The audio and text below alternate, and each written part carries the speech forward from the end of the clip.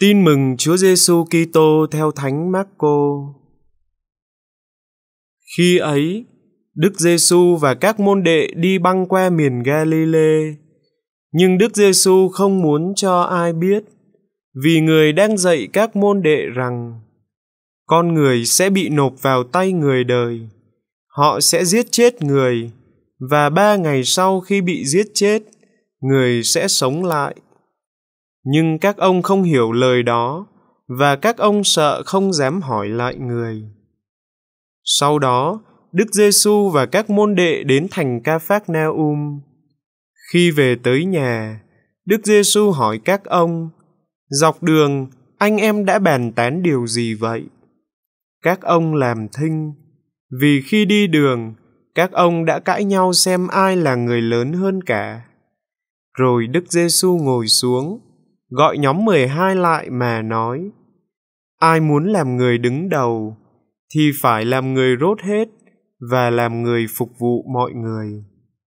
Kế đó, người đem một em nhỏ đặt vào giữa các ông, rồi ôm lấy nó và nói, ai tiếp đón một em nhỏ như em này vì danh thầy là tiếp đón chính thầy, và ai tiếp đón thầy thì không phải là tiếp đón thầy nhưng là tiếp đón đấng đã sai thầy.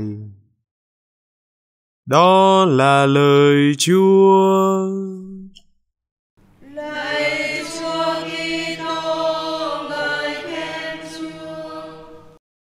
kính thưa quý ông bà và anh chị em hàng năm các báo chí trên thế giới vẫn cố gắng tìm ra một danh sách những người được coi là vĩ đại nhất trong năm đó là những người đã thành công nhất trong việc kinh doanh, nổi tiếng nhất trong việc chính trị, hoặc là những tài tử đóng phim, những ca sĩ hát hay nhất, vận động viên giỏi nhất.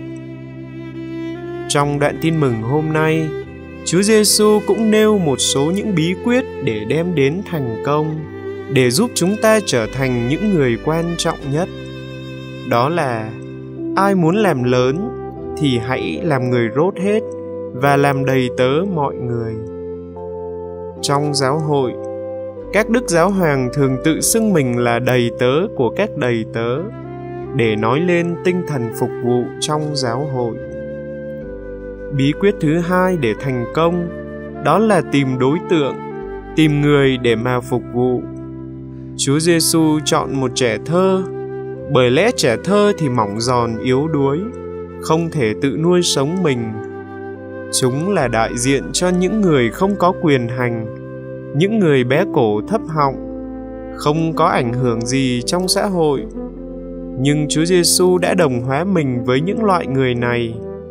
Ai đón nhận một trong những trẻ nhỏ thế này vì danh thầy, tức là đón tiếp chính thầy?